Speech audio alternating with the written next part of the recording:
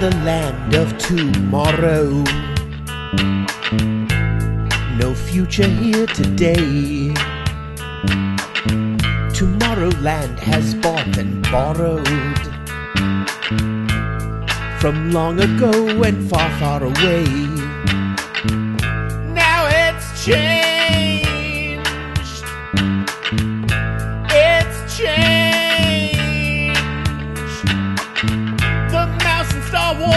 Wars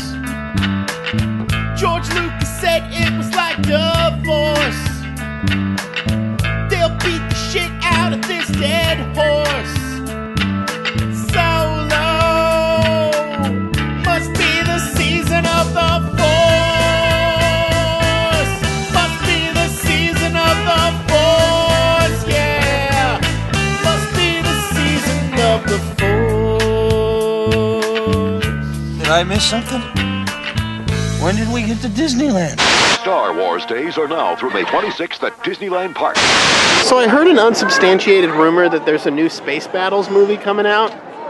I haven't seen any ads for it. I don't None. know. None No. whatsoever. I have no idea.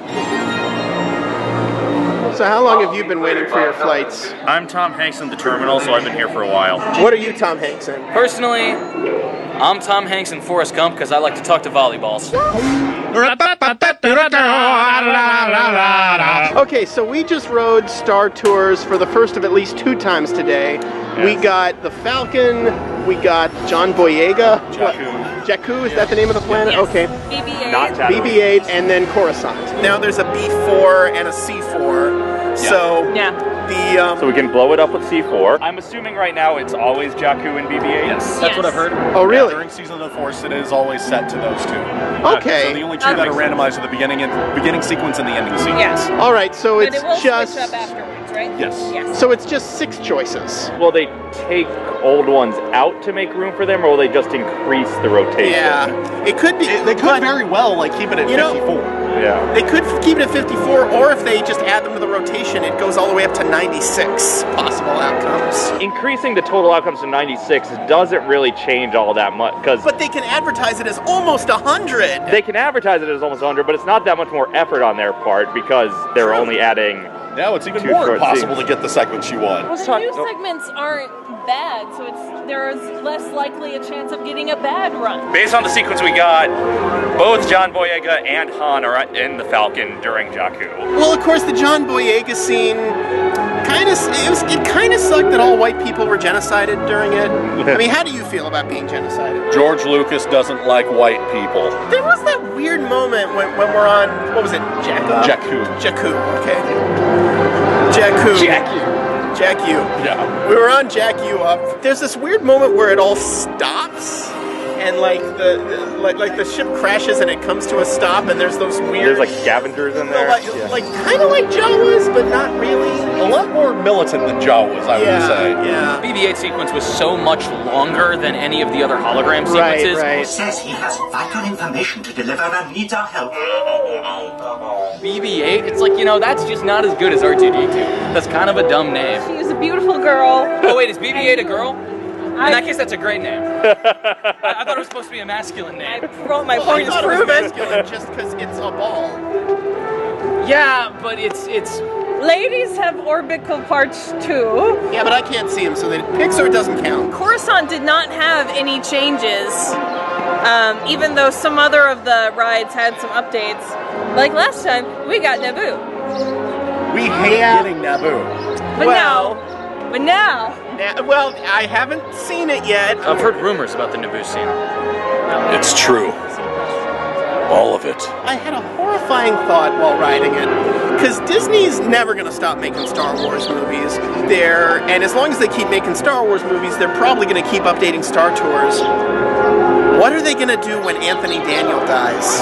Anthony Daniel sequence. They could just record him mean, Stan- like doing a bunch of different vocal sounds Yeah, and put it together. Oh no, where are we? Oh no, this planet. That person has sure backed him or herself into quite a predicament. I have a bad feeling about this. I And- can't believe I said Anthony Daniel instead of Anthony Daniels. I, I'm a horrible geek. He's getting old. There's only one of him left. You know, the odds against Christmas being Christmas are 365 to 1. Never tell me the odds. I like that they still have Kenny Baker on set, even though they don't need to have a person inside R2D2. It's just, it's just the legacy of Kenny Baker, Absolutely. and because Peter Dinklage is too expensive. I met Kenny Baker once at a con with Luke. Did he Yeah. kick you? I feel like he's the kind of person who would kick you. And at one point, he said possibly the most British joke I've ever heard, which is, you know, it's, uh, he said something about it, like someone was late to something. He's like, "It's all right. I'm not late because I'm not even here. I'm somewhere else. You see, I'm not over there and I'm not over there, so I must be somewhere else. So I'm somewhere else." that is the most only British he, joke. Only he pointed up more. O- only he said it like this. So I'm not somewhere else, so I'm somewhere else. You know. There, now your Kenny Baker impression is complete. Hello. They could set it so that you only ever get uh, consistent scenes. If you get Jakku, you only get scenes that could still happen during episode 7. They probably won't do that because it wouldn't be worth the effort just for the sake of nerd canon. I think all the uh, different timeline things can be solved by simply renaming the ride The Empire Strikes Back to the Future of the ride. Yes. There you go. Yeah, but then we have to assume that you break the speed of light at 88 miles an hour, and I feel like science has disproven that. Hell, I disproved that on the freeway coming here. The Imagineers care about nerdery because they put in the Hatbox Ghost and stuff. Kenny Baker impression. no, he had it pointed No, at no, my Kenny, shirt. Kenny Baker would be That's can't racist. hands down That is racist. against white people. But I already told you, I Well, we internalized that. genocided them, so. So we're here going to Hyperspace Mountain, which is like normal Space Mountain, but a little more hyper. Yeah, because it's on a sugar rush after Halloween. Which means that it's also the Wreck-It Ralph ride. And may the falls be with you. It's a tourist trap! These missions can feel like a high-speed roller coaster type ride in the dark. It can feel like a roller coaster ride in the dark. So it's not actually a roller coaster at all. Heaven forbid. we are really going into space. Oh yeah. But it feels a lot But like it feels like a roller coaster. I'm sure that's what Neil Armstrong said. The odds against Christmas being Christmas are 365 to 1. Hyperspace and chill. See, there used to be a girl sitting there, but the moment I tried to put my hand there, she jumped out of the rocket, and I haven't seen her Oh man. since. We are in the empty room formerly known as Starcade, which is not blocked off, oddly enough. Yeah, it's for stroller parking. Is for stroller parking uh, and for saying stuff on camera. I haven't seen a place this dead since Innoventions. I was disappointed at the beginning because that was the the time where it was like, oh, and now we're going to hyperspace. We're still moving at like Yeah, one mile we're an climbing hour. the thing. I was hoping you'd go into hyperspace as you fell. It like it would be like That would, yeah, uh, yeah, except they couldn't do the, the I- I bluish Doctor the- Who the effect. graph- The starfields, I thought, were a little light. Like, there were so many Yeah. areas where it was just darkness where there should have been, like, stars wasn't around. Having the dog fight all around you and less Starfield was actually more disorienting to me than regular Space Mountain. So for a roller coaster, I think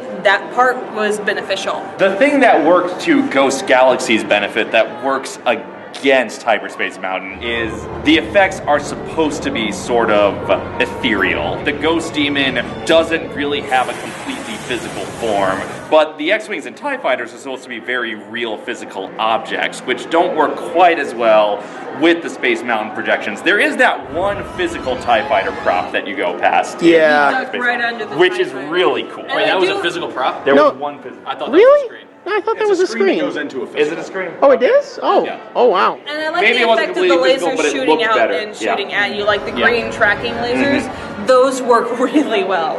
Yeah. And ultimately, you know, even if it's not quite as good as Ghost Galaxy, it's still Space Mountain. Oh, yeah. At the end Yeah. of the It's day, at the end of the day, it's still one of the greatest Space roller Mountain coasters ever with built. John Williams music. too. Oh yeah. If you had Like to going up replace that Michael first lift. Giacchino with anyone, It has to be. Right. it would be John Yeah. Williams. Since usually you replace it the other way around. I really enjoy Hyperspace Mountain, but I'm glad it's not permanent. I'm glad we get regular Space Mountain back eventually. How am I holding the camera again? It's supposed to be my show. You're the jerk with the camera. Yes, of course. Hello, I'm in this too. It's broken again.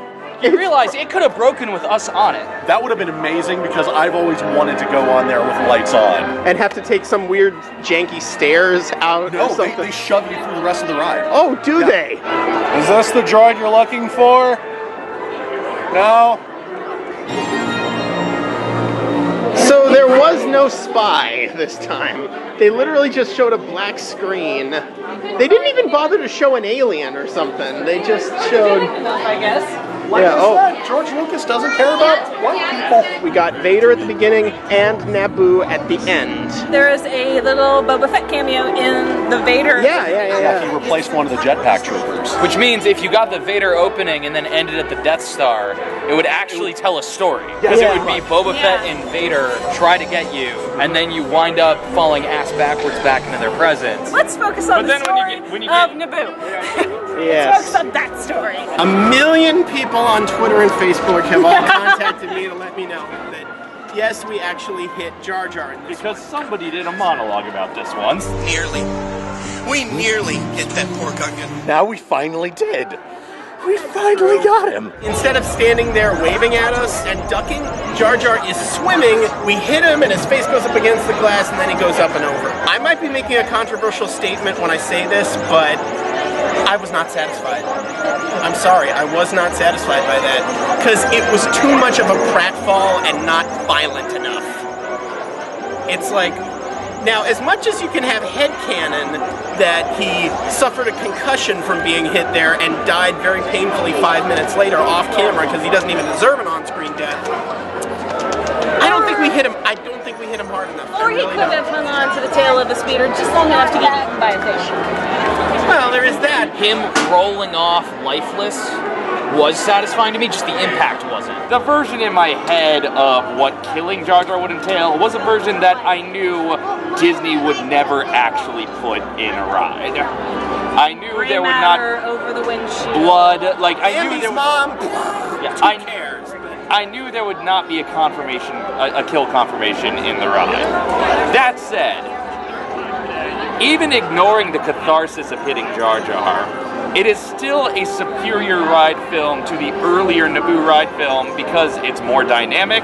Like there's actually something that happens there. It makes more sense for Jar Jar to be swimming there than it makes sense for him to just be standing there and ducking. Because it's so boring just to go through this dogfight, hit the water, and then just see something waving there. Like, Also, yeah. you never see Jar Jar stand underwater. You never Like, see him see swim. You never You- see anyone stand under the water You unless see they're in a diving suit. That's more like the movie than the other version was.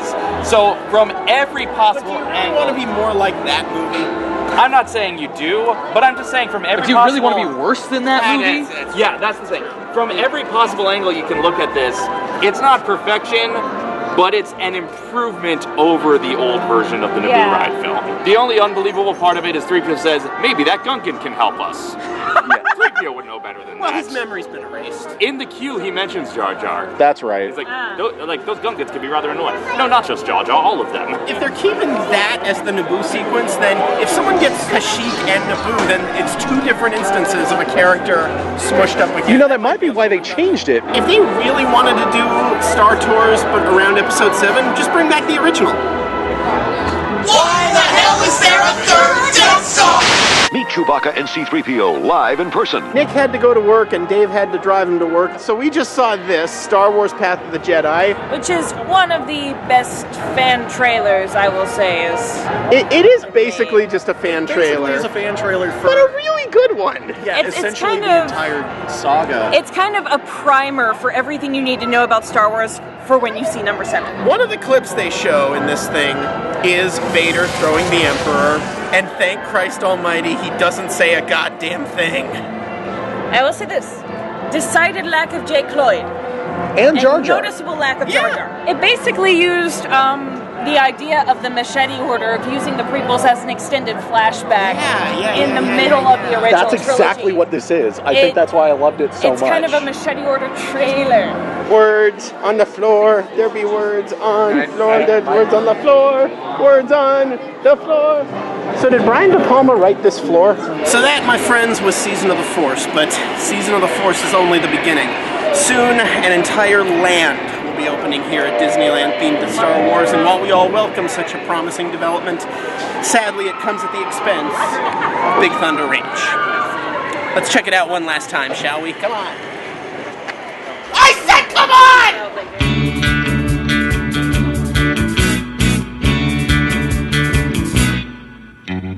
Well, season of the horse didn't do as well. So, Woody, exactly how do you feel about your home turf being invaded by spacemen? So, after this place unfortunately closes, uh, what's going to happen to these animals? They're all going together to a home that has some of our other goats, and they're gonna be reunited and have a happy fairy tale ending.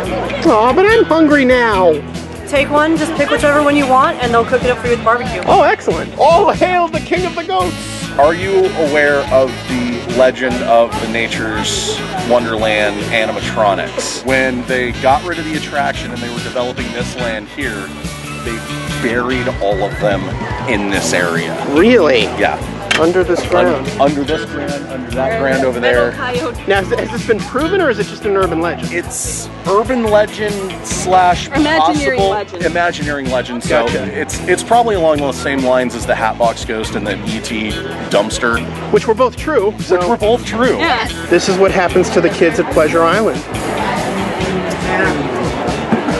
Pew pew pew indeed. We have officially become the men who stare at goats.